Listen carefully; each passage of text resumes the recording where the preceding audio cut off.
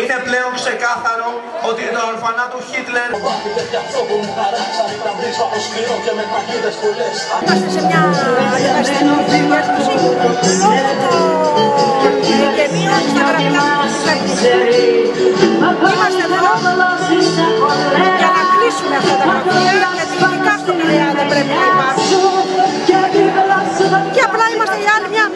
δρόμους και στον αγώνα. Αντιφασιστική συγκέντρωση σήμερα 7 η ώρα στην πλατεία Κοραή.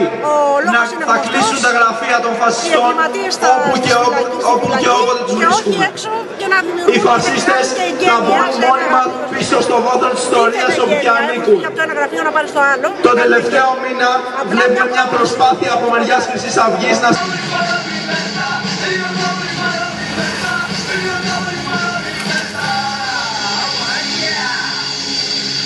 σταματήσουμε πριν τελειώσουμε μαζί τους.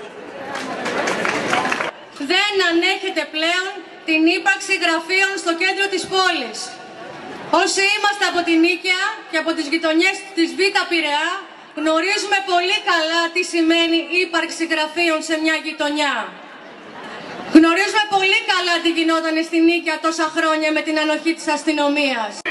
Ο Παύλος ζει, τσακίστε τους Ναζί!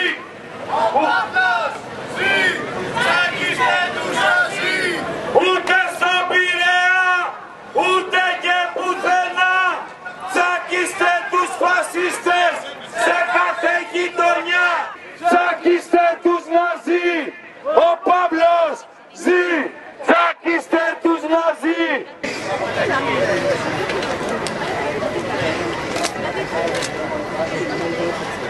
Κλείστε τα γραφεία της Χρυσής Αυγής!